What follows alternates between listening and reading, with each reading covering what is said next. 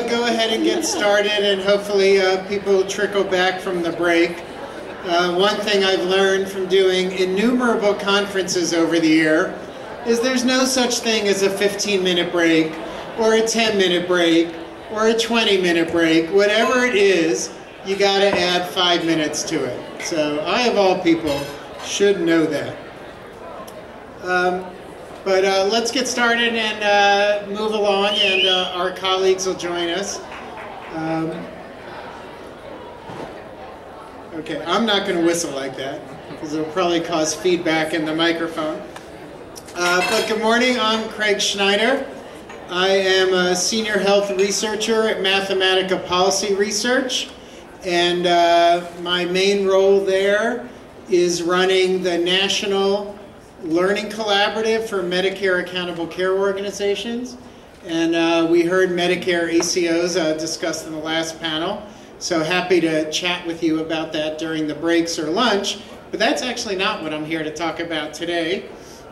I'm actually here in my role on the New England HIMSS board as both a member of the programs committee and as the health information exchange liaison. So we said, well, let's put together a panel related to that theme, uh, but let's dress it up in uh, the very sexy attire of big data. So that's what we're going to talk about in this session is big data interoperability. And we pulled together uh, three of the leading uh, health information exchanges and data organizations in New England to talk about this subject. Uh, so, oh, it worked. Yeah. Um, so I'm pleased to introduce the panelists today, an esteemed group. We have Laura Adams, who is the president and CEO of the Rhode Island Quality Institute, and Jeff, Jeffrey Loughlin, the executive director of the New Hampshire Health Information Organization, and Marilyn Schlein Kramer, who is the deputy executive director of the Massachusetts Center for Health Information and Analysis and uh, you already met me. Uh, but I'll start off, and of course they will tell you a lot about their organizations in just a few moments, so we'll circle back to that. Uh, but I want to do a little bit of level setting about the topic for this session. So, uh, does anyone recognize this photo? Uh, it's from the movie Bruce Almighty, which I would recommend. It's, it's fun and entertaining. Um, so, big data. Uh, big data is not a large data set. Uh, in fact, when I started with Mathematica about three years ago, uh, I actually gave a talk on this topic. And people said, oh, we do big data. We've got the Medicare claims data set. What could be bigger than that? Um, but so think of something like the Medicare claims data set as a huge filing cabinet. But that's not what big data is. This is big data, right? People remember this uh, classic I Love Lucy episode. The data isn't just sitting in a file cabinet, no matter how big. It's moving on a conveyor belt at almost warp speed and actually coming in multiple directions, and you can't eat the chocolate fast enough. That's what big data is. So when we think about uh, big data and healthcare, and people might be aware, healthcare is, you know, we heard about the banking example and the car reservation example in the last panel. Healthcare, this is another place where we're pretty much lagging behind other industries. Um, so if you think about where data came from in conventional healthcare data sources, right? Chart abstractions. Anyone done chart abstractions? That is not a fast conveyor belt, right? Um, discharge data from hospitals, claims data, including uh, the more uh, new all-payer claims database source, and electronic medical record data. But the stuff that's coming out, and of course that those things are all part of, quote, big data, but we've also got new sources coming out enormous amounts of data coming out of genomics and proteomics. Proteomics is the study of protein composition. And of course, as we just heard, patient-generated data and how do the physicians aggregate that in a useful way. And social media. Uh, a few, you know, later on today we're going to have a, our own pitchathon. A few years ago I organized a Data Palooza and one of the companies there talked about how they developed an app that can track flu just by what people are tweeting. And you could find concentrations of illness based on the tweets that were being sent. So that's another uh, source of data that's going on. So conventionally, we were collecting transactional data, right? Stuff that's coming out of claims or billing. Um, and then they were stored in the inpatient discharge database.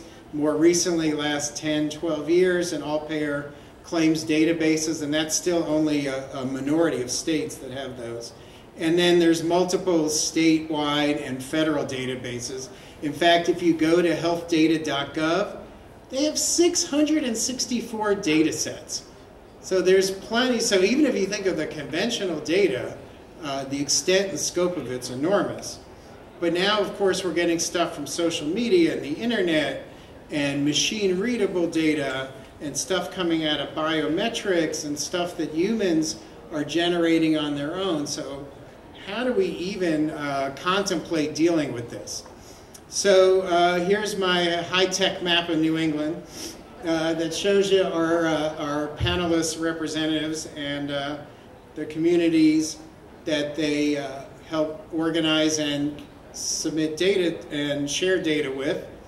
And so I'm going to ask each of them to talk about what their organization does, what its role is in their state health system, how they're using this data and thinking about the future, and what are some of those challenges to interoperability?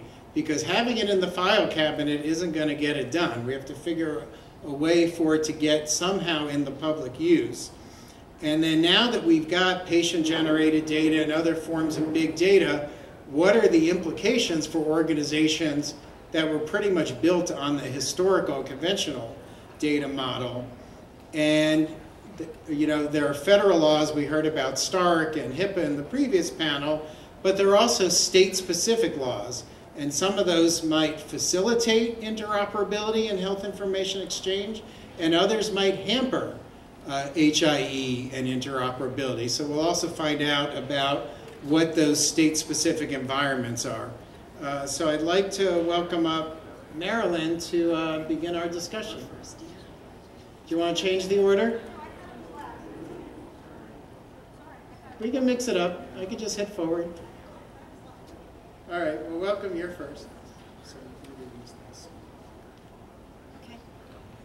Hi, everybody. Oh, you can do better than that. Hi, everybody.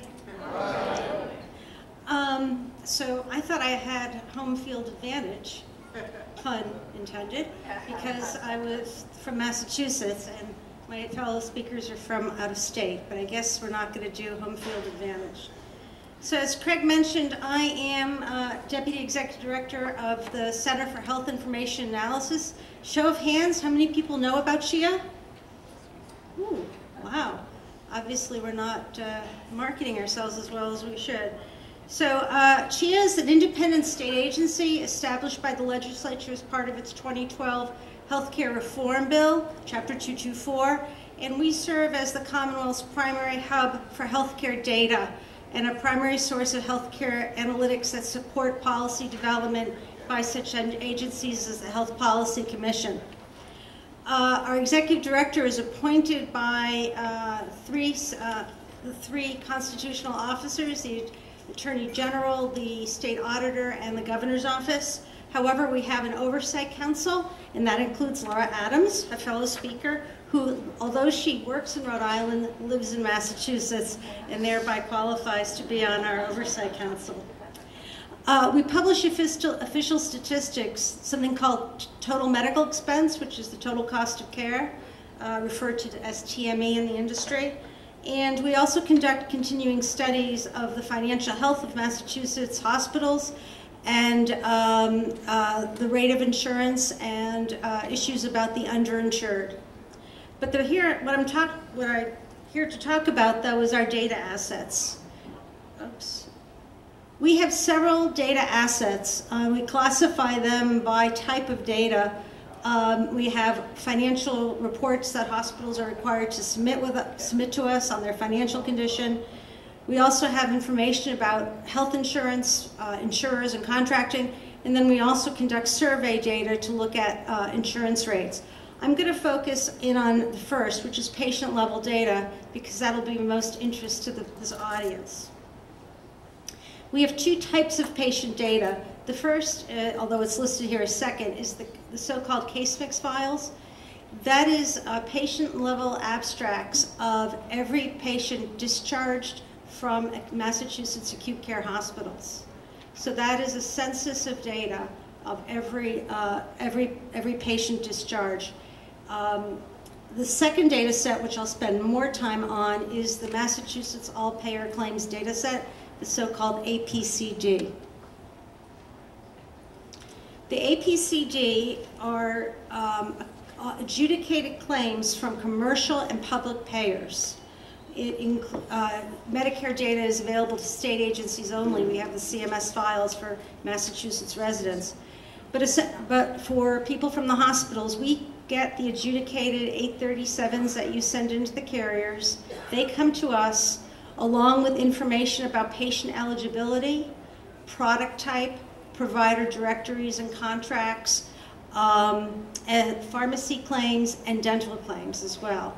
So we get all of the claims.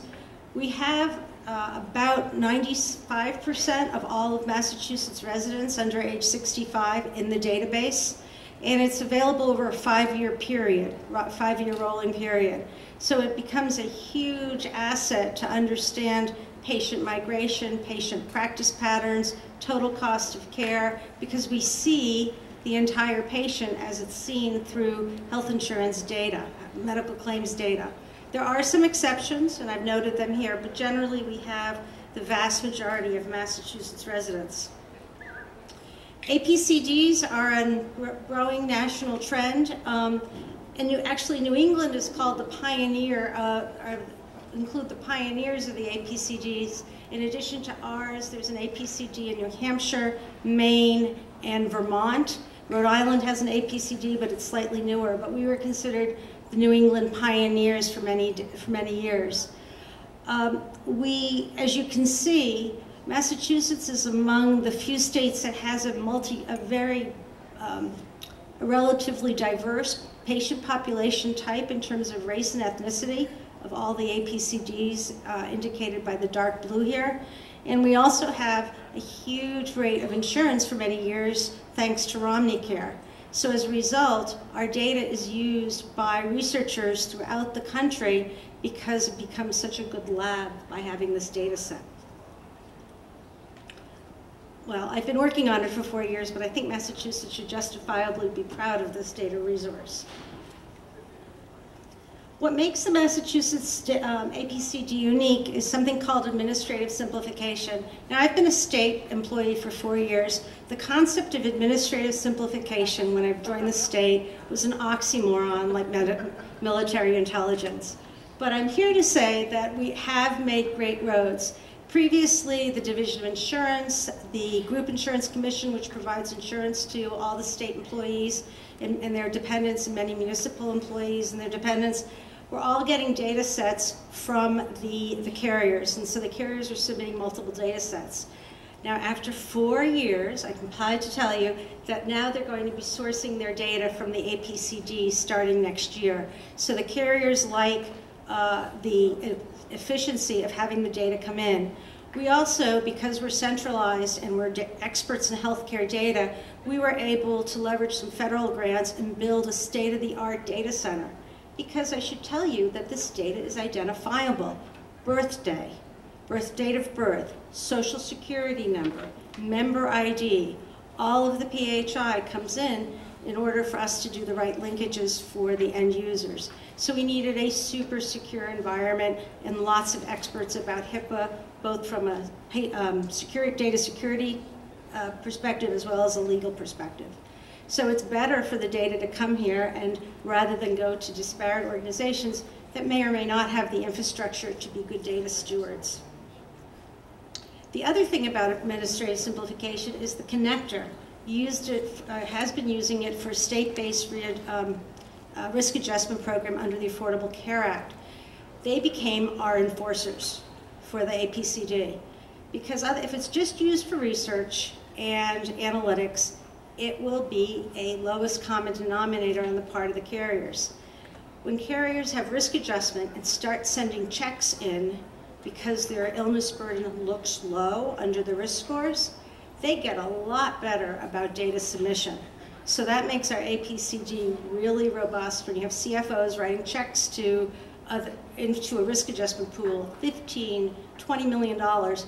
Boy, they start asking people in IT, what about that APCD submission? Again, another benefit to our, our work here in the state. So uh, as Craig talked about big data definition, the APCD is large, tera, terabytes of data and growing. So it has the volume, it has velocity maybe. We collect data on a monthly basis from the carriers, which is more frequent than the other APCDs in the country, which collect either quarterly or annually. But where it fails is variety. It's really 837's enrollment information. It's very standard. There's really no variety in it. However, we can leverage what we know in the APCD to create big data to answer pressing questions, the opioid crisis. And this is work we're doing right now at, at CHIA. So we have, in the, in the state, we have the APCD and the hospital discharge files. The, those are controlled by CHIA in blue. But the Department of Public Health has very, very important information. Birth certificate, date, uh, death certificate data, the cancer registry, the prescription drug monitoring program for opioid, uh, for the prescription, uh, opioid prescriptions, uh, the cancer registry, the incarceration records of the Department of Corrections, toxicology reports from the ME's office. These are all valuable data sets. So uh, the legislature gave, um, uh, passed a law last year that authorized the Department of Public Health to create, uh, to actually ask us, CHIA, to create a merged data set of all these kinds of data so the Department of Health can understand what's happening, what are the forces behind the opioid crisis in Massachusetts. So CHIA, our data scientists, used the PHI that we had to create a linked data set, stripped off the identifiers, and that data set is being now housed at the, uh, the Commonwealth IT Center in Chelsea to, for the D Department of Public Health to do their analysis. They're going to report out this summer, or they're scheduled to do so, and it'll be the first time that we've seen this kind of data linkage, and I'm very happy to report that we got linkages of in excess of 90 and 95 percent. Because we had Social Security, date of birth, we had the data scientists who understood how to apply fuzzy logic in some places to make the matches very good. So I'm looking forward to hearing what the Department of Public Health is able to produce with this data. There are other big data initiatives using the Mass APCD as the spine, we call it, the spine because it has all the identifiers. We are linking, uh, researchers from Harvard, Har uh, Department of Public Health and Harvard are linking um, the APCD to the cancer registry uh, more comprehensively than we did in the prior study. They're linking, uh, researchers are linking it to physician databases, including the, uh, the proprietary SDK, I think, which talks about physician characteristics, answering questions. And um, we have others who are linking um, APCD to uh, environmental factors, such as what um, particulates in the air, etc. So we're seeing a lot of big data initiatives using the APCD as a spine. So, uh, so Craig asked me to talk about challenges. Here are a few, just off the top of my head. Uh, the first is HIPAA, obviously. I mean, we have sensitive data. This is an unconsented data set created by the legislature. So, you know, the statutory authority is good, but the first breach we had, I think, will take down not only our APCDs, our APCD, but possibly all the other APCDs in the country. So we're, we're obsessive about HIPAA um, at the state. But that said, we're able to use the PHI in such a way to enhance the data. We recently uh, worked with RAND to impute age and ethnicity, uh, race and ethnicity onto the data in a probabilistic modeling situation. So again, we have the algorithms. We can create a master patient identifier, which is de-identified, but, um, but say the race and the ethnicity based on patient's surname and their geography on a probabilistic basis, and then strip off the identifiers, right? So we have date of, we don't have date of birth on the file, we have age. We don't have uh, the name or the street address, but we have the probability that he or she is white, um, Hispanic, etc., any of the uh, census, uh, U.S. Census definitions of race. So if you're if you can leverage the data in that way, you can protect the data, but but also enhance its usability. We have other challenges. Part two um, from SAMHSA, from the substance abuse claims, it's very difficult to get that data, and it's important to understanding behavioral health and, and opioid crisis. We have the Supreme Court decision that came down in March, which basically said self-insured employers do not have to share their data with state APCDs. And I'm, I'm working in a coalition with other states to uh, work with the Department of Labor to uh, have them amend their rules so ERISA plans have to submit to the APCDs. Um, we don't have information about cl clinical information, and we certainly don't have information about patient satisfa satisfaction. So there are a lot of challenges, but there are a lot of amazing uses of the data.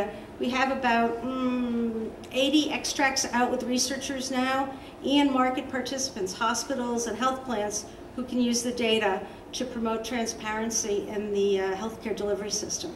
So I'm happy to answer questions at the Q&A, but thanks for your attention.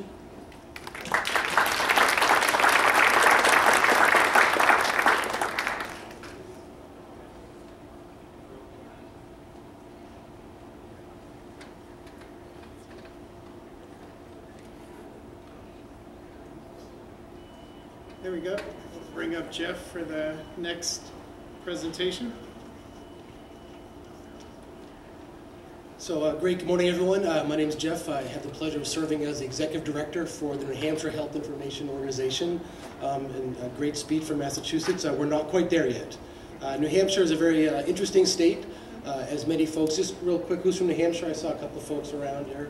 Um, so New Hampshire, as you may have seen from some of the data out there, you know, we're in the top 10% of, of health information exchange between hospitals and some of their provider, you know, organizations. Uh, we're in the top 5% for um, electronic uh, prescriptions as well. Uh, we had the first critical access hospital in the country to reach meaningful use, both stage one and stage two. Uh, so there's a lot of technology and, and we have a, a huge uh, health center control network that's been wired for, for many, many years. So it's a very uh, you know, unique in terms of technology is enabled really across the state. Um, but health information exchange uh, is new uh, in terms of an overarching blanket across the state. Um, we are now just in our fourth year of existence uh, as an organization and only uh, two and a half years into our actually implementation and use of technology for health information exchange. So we're a growing organization. Uh, we've got some great role models like Laura and some other folks that you'll hear from uh, later on in the day you know, to look forward to, but we're starting out early. So, you know, as I say here, we, we were created by state law. We were one of the last states to get one of the ONC federal grants to create the Health Information Exchange, and one of the outcomes was to create a nonprofit organization to help manage the health information across the state. Uh, with that being said, this law also uh, inhibits what we can do. So unfortunately, with, with, despite all of the great technology and capabilities across the state, uh, the, the New Hampshire HIO, we are prohibited by law from aggregating any data. So essentially, we're, we're helping to facilitate, we do a lot of conversations, we move information around, but we're really just a, a secure method of uh, you know, transport, uh, and we work with our partners uh, right down the hall here. Orion Health is, a, is our primary technical vendor you know, so with that being said, you know, we, we really do focus on the transport between providers, a huge amount of value both in patient care, care coordination, and, and time, financial savings by moving that data around. But unfortunately, when we talk about big data, we're right now kind of at a loss because we can't store that big data. So we're looking at, you know, how do we connect those different sources? Right now, like many of you, we are focusing on the, the use of direct standards, and I'll use the air quotes to say standard uh, because we see the, the term direct means nine different things to, to, to nine different people depending on how you use it. But because we're using direct right now, our use cases for NEO itself are fairly limited. We support the transfer of care summaries being sent for meaningful use, Hospitals use us to send their discharge summaries, in some cases, lab results to some organization. Uh, and our biggest use case and our largest volume is syndromic surveillance and electronic lab reporting to the state. Um, and that's been a, actually a really good success, and we have seen some significant cost savings you know, from our organizations and certainly from the state. Um, but as you know, um, Direct has a number of, of variations in formatting and, and methods of transmission, um, and so we find ourselves kind of in this, this quagmire of other networks although we are the single statewide network, um, those that are familiar with the term HISP, Health, Health Information Service Provider, that's really in, in, essence what we are today. There's 12 others running in New Hampshire. So one of our, our biggest jobs as the, the aggregation point for at least knowledge and information uh, is, is running the provider directory. Again, for us today, our provider directory is really, for those that might be in New Hampshire, a, an Excel spreadsheet uh, that we email around. Uh, but we're moving towards this number of vendors here that help support those in a much more you know, elaborate way. Um, you know, with that being said, we, we do have a really strong forward uh, momentum. We work very closely with the state. There's, there's a lot of initiatives going in the state, uh, Medicaid and, and, other areas that are bringing a lot of money, a lot of federal money to the state that really hope we can help put this, this blanket over New Hampshire in a much more effective way. Um, like all of you that, that, kind of work in this space, we are completely hindered, um, not let alone our, our legislative uh, constraints, but the interoperability issues. So we, have heard a lot about innovation today, which I think is great, but our innovation is being, you know, uh, is roadblocking uh, by, by, inter, by, interoperability, and that's really been our struggle. Trying to get two organizations uh, simply to talk to each other and send data back and forth has, has been our number, number one struggle. Uh, next being connectivity and trust. Uh, we are a member of Direct Trust, and so we sort of have that universal gateway to open us uh, up to other networks. But we find that not every organization is part of that, uh, and sometimes even that, the connectivity, the trust fabric, building, uh, the, you know, just getting the documentation to make those connections happen can be a challenge. Um, and lastly, as, as, I'm sure everyone is, is acutely aware of, provider resources. Um, you know, sending data between you know, uh, uh, third-party organizations is last uh, on, on, people's priority list. And given the multitude, we already heard about MACRA, which is probably the new swear word before me, you know, right after meaningful use, um, is that the, the, the, lack of attention to what they have to focus on. They've got nine different ACOs, three different you know, organizations beating on their door looking for data, want to be interoperable. Um, how do they focus on what, what, what, we're looking to do? So that, that's our biggest struggle. Um, so we talked a lot about you know where we're heading with big data, and I think we are new to the space. Uh, but we, we, hopefully what we have learned in New Hampshire, we don't, you know, we don't have the intention of building a massive centralized repository. That has worked in some pockets, and other in other areas it's failed miserably. So coming to the table late has given us the ability and foresight to see what's worked and what hasn't. So, you know, a lot of what Massachusetts talked about is, you know, accessing all these multiple databases. That's where we're focused on moving forward. There is the player, uh, all payer claims database. Uh, the, the, the, Health and Human Services, it has a number of clinical repositories. We're just now implementing an immunization repository. Uh, the drug monitoring program, there's a lot of pockets of data that are now being you know, stood up in New Hampshire. Our role as the HIO is to sort of gather that information, find out who's, you know, where the data sits and who needs the data, and, and bring that together. Um, we're also looking at right now, because of some of the legislative uh, constraints, a sort of a, a multi-pronged vendor approach um, to solve a lot of the data needs. What we don't want to see in, in what's happened over the years is pockets of isolation, you know, hospital-centric networks build uh, or innovate in, in, in, one direction and the next door neighbor innovates in another direction. What NEO wants to do is be that overarching arbitrator uh, and aggregator of knowledge and information across the state to make sure we're all moving in a similar path. So we're looking at multiple vendors. I, I listed a couple here. We're, we're, we're, putting in a patient event notification service uh, to, again, at least understand where are your patients being seen, what are they being seen for, to start to tighten those care coordination circles a little bit better. Um, we are looking at some cross-data uh, sharing capabilities uh, with collective medical technologies that can help support some of those isolations of data and bring them together in a more cohesive way.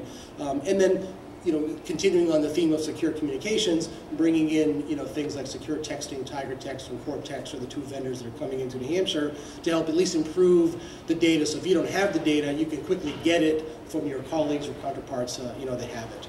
Um, and I think with, with all the stuff we heard about this morning, that the patient side, we are trying to figure out where do we fit in terms of, of patients. Right now, because we're limited by direct, direct is not a solution for you know patients. We're not going to have uh, authentication of, of patients to, to build these direct access portals and so forth. But how do we build together and aggregate the patient side is kind of where we're going next. Um, I would encourage you to take a look at our, our website, you know, when you get a chance, some of the resources there. Um, and with all that being said, um, this is the team. It's a very limited team. Uh, so New Hampshire uh, has not put a lot of funding uh, into this program to start. So we're trying to build consensus, build, um, you know, uh, an understanding of the role that NEO and the potential we have to play to sort of continue to expand our, our footprint across the state. Uh, with that said, I thank you for the time and I look forward to questions afterwards.